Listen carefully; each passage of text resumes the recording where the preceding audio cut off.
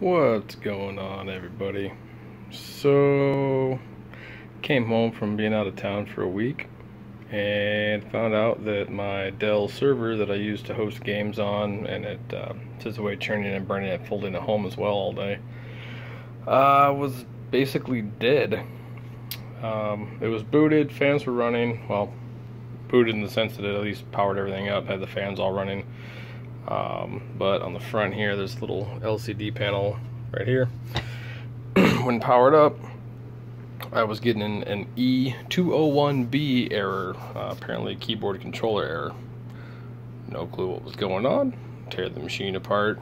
Well, strip it down to just RAM and uh, uh, CPUs. You know, I took out the the uh, RAID controller, the LSI RAID controller out of it. Uh, disconnected the other couple of peripherals attached to it, so it was just bare minimum. Still getting the same error, no peripherals plugged in the back, none of that. Again, still getting the same error. It wasn't until I then started to disassemble even further, taking off all the heat shrouds and stuff, that I find this just laying loose inside of here. Uh, at one point in its life, kept this chip right here cool it was just kind of laying here. There's a big shroud that sits right over top of the RAM here with a fan on it. And it was just sitting there, kind of sitting on it like so. So I didn't even notice it when I first opened the case till I started pulling everything apart. Turns out,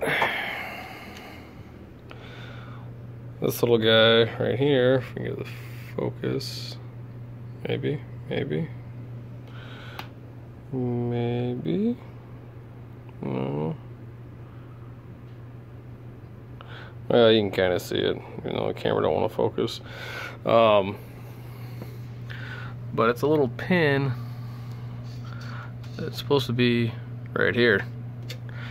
There's another one just like it right down here. So what those do, if we go back to the heatsink here,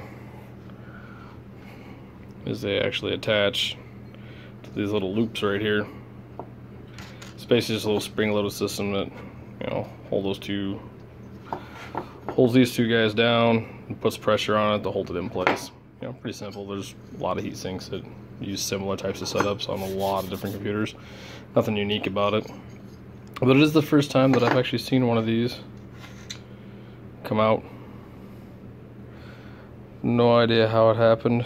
Uh, best guess is the solder, assuming they're soldered in. Can't really tell. I'll find out when I get it fully disassembled and get the board out, but if it's soldered in, it might have just been a solder failure. In any case, before I even fully discovered what was going on, I went ahead and you know, just assumed something was broken or dead on the board. And I already ordered another one I found on eBay that was actually a brand new one that was sitting in mothballs someplace. Uh, never actually been used, so it's kind of nice. But, you know, I guess that's the kind of thing that happens when you have a 10 year old server laying around. It's weird strange things go wrong on them and break. Things that aren't normal. But, you know, that was kind of a weird, strange little thing to see happen. You know, you see that kind of stuff on server grade hardware.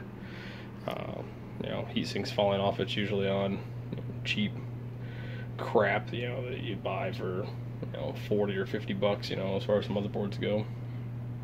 Not a server that costs thousands of dollars brand new.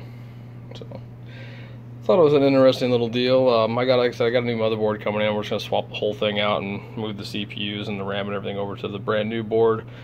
Might try to repair this one, you know, fire up the old soldering, old soldering iron and stuff, and see if we can fix it. If we can, we'll either sell the uh, repaired board or maybe we'll try and uh, get it up and running and make some kind of a uh, dedicated folding machine or something out of it. That way I'm not trying to tax this system as much running game servers and trying to fold on at the same time. I don't know. We'll see. Anyway, just thought I'd show you guys that. Thought it was kind of kind of weird, kind of interesting, unusual kind of failure. Uh, that's pretty much it. Everybody have a good one, and we'll see you some other time.